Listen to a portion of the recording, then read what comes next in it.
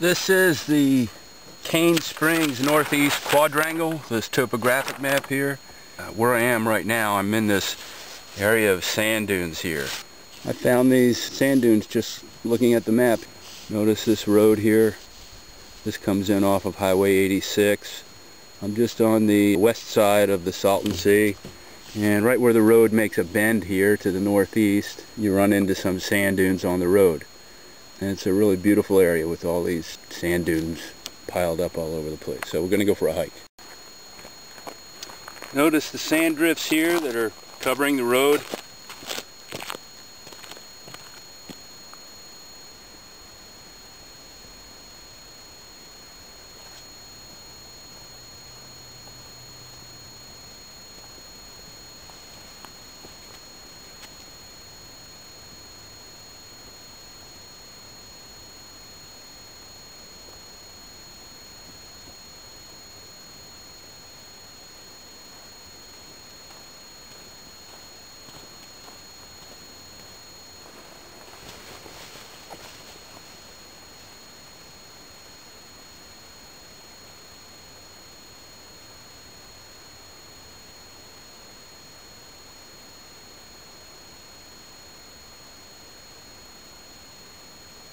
These, of course, are ripples. These are sand ripples. They generally have a uh, wavelength of a couple of inches, two, three inches, and a wave height of just a fraction of an inch. And these are the smallest wind-blown land features, or landforms that you see. What you see here is a Barchan Dune. And we're going to go take a little hike on the Barchan Dune and measure the uh, slip face. You're looking at the edge of the dune here. On the top is the uh, slope up which the uh, sand travels, the wind-blown sand, and then it cascades down what's known as the slip face.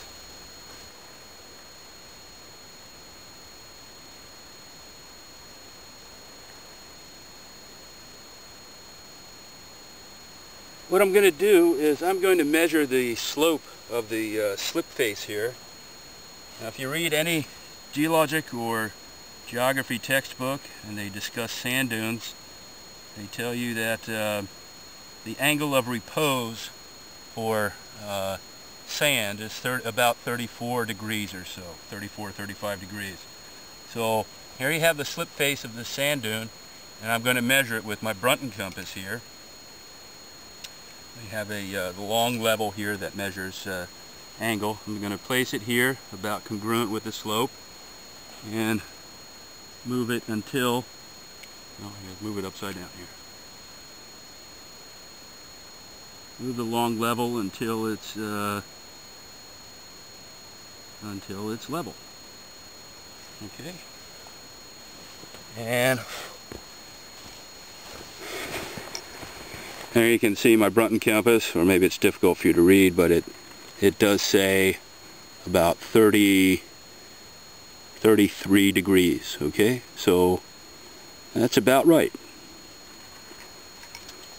this particular dune field probably formed from sands that were left over when ancient Lake Cahuilla uh, dried up. Ancient Lake Cahuilla was uh, present here in the Salton uh, Basin um, thousands of years ago, well at least centuries ago. And the Salton Trough here, which is below sea level, it's a topographic region that's down below sea level. Um, periodically, the, the Colorado River, which is to the east of where, I am, where I'm at here, uh, used to change course and flow here into the uh, basin here, into the sink, this depression that's down below sea level. And actually, some people say there are marine deposits down below here, and it was an arm of the uh, Gulf of California, also known as the Sea of Cortez, which is that long, skinny uh, body of water between Baja California and then mainland Mexico, right? So anyway, you know, there used to be a lake here, and then it dried up, and when it dried up, there was all this loose sand laying around on the on the old lake floor, and you know, the wind picked it up and blew it around. So, and this is one result. You've got these this sort of little collection of sand, wind-blown sand. Another interesting feature here as I walk around these dunes, in between the dunes you see some what I would call lag gravels. and these are probably were deposited by running water at some point in time running across the surface of the desert. And now what's going on? All this wind-blown sand is is acting being as the wind picks it up it hurls against these these uh, gravels here.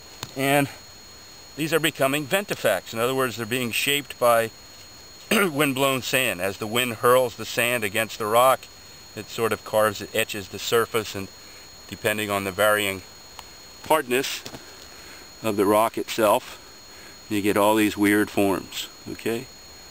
This is this is pretty cool.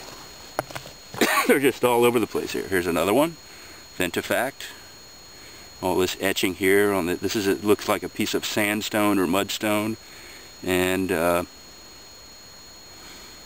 okay this area has some individual dunes that are full-fledged Barchan dunes but in between the, the, the large dunes you have this sort of uh, wind-blown sand surface, uh, what you might, might, call a sand sheet, and you have these little hummocks that, of wind-blown sand that are piled up wherever there's a, a vegetation.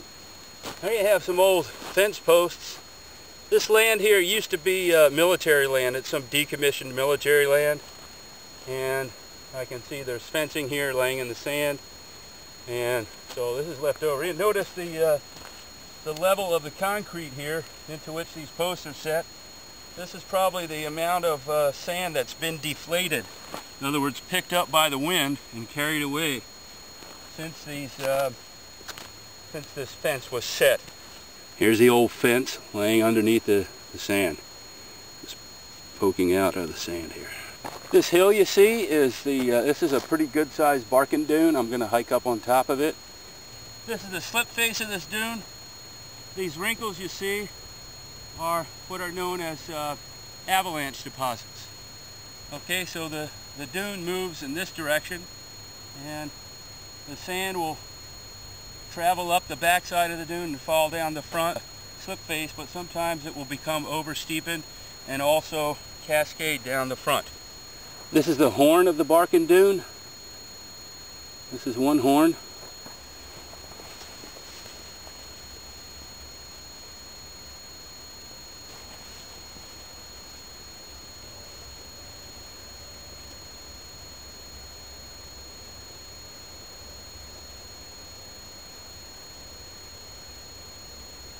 Okay, this is the crest of the dune. This is the highest point on this dune.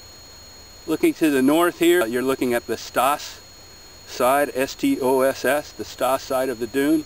This is the part of the dune up which windblown sand travels. Dunes usually form where uh, there's an obstruction of some kind. Uh, the sand starts to pile up over time. And off in the distance I can see a whole collection of Barchan dunes altogether. Boy, if I had more time, I'd hike out there. We'll have to come back someday. Here I am, I'm at the brink of the dune. In other words, this is where the, the windblown sand uh, falls over the slip face.